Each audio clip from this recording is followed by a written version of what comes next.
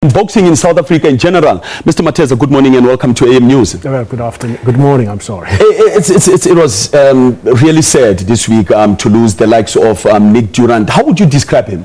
Well, Nick Durandt was, as I have said, and to many people who asked me this question, is was a larger than life. He was one of the trainers in South Africa. He actually made boxing, you, you would, would make boxing very exciting because even though I was doing commentary when he was uh, looking after his boxers, he was in the corner of one of his boxers, he did most of the commentary. Mm. And uh, there's a very famous quote that is many people are making about what I said, Nick Durandt said, which I'm not going to repeat here. Mm-hmm. he was telling the boxer, go and do this to him, and I'm not going to repeat this here. He moved from England to South Africa. Was there a specific reason, or he only came here for boxing specifically? No, I, I think what, what, what was said, his father was a, professional footballer. He played for Wolverhampton Wanderers mm. and Charlton uh, Charlton Athletic. And many of those, he played with uh, people like, in South Africa, with uh, people like Walter da Silva, people like uh, uh, all the guys who came from Eddie Lewis and all of those mm. guys.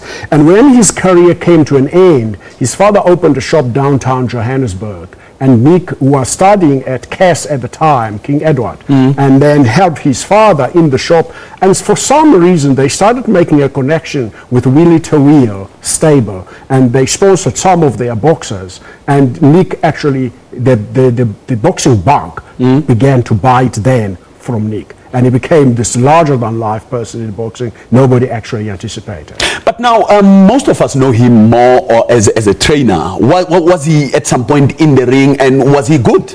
Now, Nick was never a boxer, mm. but he was a good motivator. You can see that he actually took time to learn his trade and he was very good at looking after boxers, mm. motivating boxers, and also uh, actually uh, drive them to the limit uh, in their career. He was the first boxer, for instance, to take a rather raw uh, Philip Ndou mm. to the United States to fight Mayweather. And Ndou lost in the eighth round. And he was actually, many people didn't know what Nick was trying to do. What Nick was trying to do was actually to test his limits and those of his boxer. Mm. Now, speaking of his boxers, um, what would you say were some of his highlights? Some of the highlights, the first boxer Nick actually uh, made people sit and take note, was when he took a, everybody thought Sugar Boy Malinga, who came from the famous Malinga family down in Ladysmith. Mm. Everybody thought Sugar Boy Malinga was over the hill. And this fight came up for Sugar Boy Malinga, the WBC junior heavyweight title fight against uh, Nigel Benn in the United Kingdom. Mm. And Nick took this fight and trained Sugar Boy Malinga and took him there. And Sugar Malinga, you know what? Became the WBC mm. World Junior Heavyweight Champion, the first South African boxer to win a WBC title.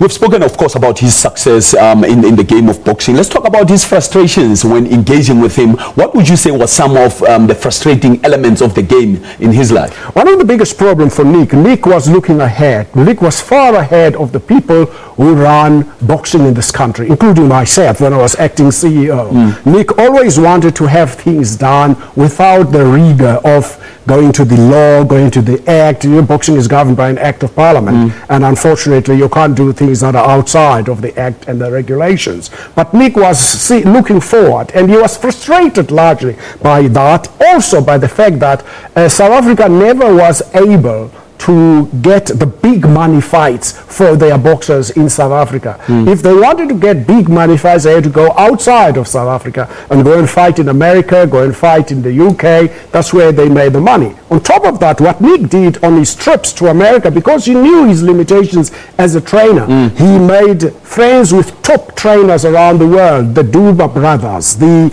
the uh, Pernell Whitaker, and all of these guys who were training other boxers overseas. And he took his boxers there for camps to see how the others are training. Mm. Now let's talk about um, boxing in South Africa, um, the state of boxing in SA as um, Nick Durandt is no longer with us. Do you think he's happy wherever he is with the state of boxing in South Africa presently? That's, that's precisely the reason why Nick, Nick announced last year mm. that he was getting out of boxing because he didn't see any progress going forward. You know, one of the biggest problems is in our sport in South Africa, boxing is a sport of the poor, the sport of the people who come from the ghetto. Uh, I had a chairman when I was CEO of Boxing South Africa, um, Toby Chamzashe, who made a very good, uh, who, who said, who coined a very good term. He said boxing, for many boxers who come from the townships and the rural areas, is a meal ticket out of poverty.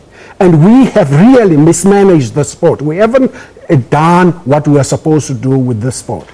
Boxing, as I tell you, could become a sport that can look after all its boxes, but unfortunately, you need strategies, you need a plan, you need uh, uh, a vision, you need all of these things, and finances, you need a reliable broadcaster, because broadcasting is everything to any sport in this country, in this world. Of course, there you have it. Um, that's SABC broadcaster and also boxing commentator Dumile Mateza joining us to talk about the life of Nick Duranta, who of course passed away this past week. May his soul rest in peace.